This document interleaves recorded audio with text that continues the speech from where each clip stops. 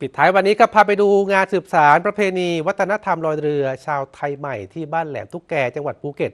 เชื่อกันว่าเป็นการขอบคุณท้องทะเล และสะดาะเคราะห์ให้กับชาวเลด้วยครับ งานประเพณี วัฒนธรรมลอยเรือ ชาวไทยใหม่ บ้านแหลมทุกแกอำเภอรัศดาอำเภอเมืองภูเก็ต เป็นประเพณีเก่าแก่นะครับ ผู้ชมที่สืบทอดกันมาอย่างยาวนานจากรุ่นสู่รุ่นครับเป็นการเคารพ บูชา ขอบคุณแม่ย่านางเรือ ขอบคุณท้องทะเลที่เป็นแหล่งทำมาหากินแหล่งเลี้ยงชีพ และเป็นการสะดาะเคราะห์ตามความเชื่อด้วย โดยชาวบ้านที่เป็นชายหนุ่มครับเขาจะช่วยกันต่อเรือ เพื่อใช้ในการประกอบพิธีลอยเรือนะครับ และตกแต่งด้วยดอกไม้อย่างสวยงาม ชาวบ้านที่ร่วมพิธีก็จะนำตุ๊กตา ซึ่งแกะจากไม้ตรกรรม เท่าจำนวนสมาชิกในครอบครัว มีการตัดเล็บตัดผม นำเข้าตอกใส่กระทงนำไปไว้ในเรือพิธี เพื่อลอยไปพร้อมกับเรือ ถือเป็นการสะเดาะเคราะห์ตามความเชื่อครับ ในระหว่างพิธีลอยเรือของชาวเลก็ชาวบ้านก็จะมีการร้องรำมีรำรองเงงรำมนากันอย่างสนุกสนานทั้งหมู่บ้าน เชื่อกันนะครับว่าวิญญาณศักดิ์สิทธิ์จะสามารถดลบันดาลให้เกิดความเป็นสิริมงคลอำนวยความสะดวกในการทำมาหากิน คุ้มครองชาวเลให้รอดพ้นจากสิ่งชั่วร้ายได้ครับ ก็คือชาวบ้านอะมีพอจะถึงนะวันวันงานก็คือ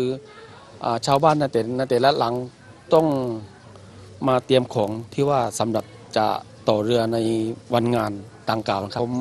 แนะนำเป็นผู้ใหญ่บ้านผมอยากให้เด็กรุ่นหลังร่วมกันอนุรักษ์ประเพณีของเราดั้งเดิมนี่แหละก็คืออยากให้สืบทอดกันยาวนานต่อไปนะครับ พิธีลอยเรือของชาวเล นอกจากเป็นการสืบสารวัฒนธรรมท้องถิ่นแล้วคุณผู้ชมครับ ยังทำให้คนในหมู่บ้านได้มีโอกาสพบปะทำกิจกรรมร่วมกันนะครับ สร้างความสามัคคีในชุมชน และเป็นการส่งเสริมการท่องเที่ยว เชิงวัฒนธรรมในชุมชนด้วยครับ ปิดท้ายที่จังหวัดแพร่ครับ ประชาชนจำนวนมากครับ ร่วมประเพณีส่งน้ำพระธาตุเมืองธรรมนมัสการพระเจ้าใจดี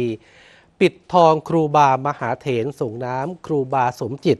ซึ่งเป็นงานประเพณีทางศาสนาที่สำคัญของวัดสูงเม่นนะครับ มีการสืบทอดศิลปะวัฒนธรรม ที่มีมาอย่างยาวนาน เนื่องในวันวิสาขบูชา และแสดงออกถึงความกตัญญูแก่ผู้มีพระคุณต่อวัดสูงเม่นด้วย ในงานเนี่ยให้ประชาชนได้นมัสการพระเจ้าใจดี ปิดทององค์หลวงปู่ ครูมหาเถรและส่งน้ำองค์หลวงปู่ ครูบาสมจิต และก็ร่วมกิจกรรมปฏิบัติธรรม เจริญธรรมานุสติ เนื่องในวันวิสาขบูชา และมีการประกวด คั่วโฮเมืองธรรมออกร้านขายสินค้าตลาดชุมชน และกิจกรรมอีกหลายอย่างในงานนี้ครับ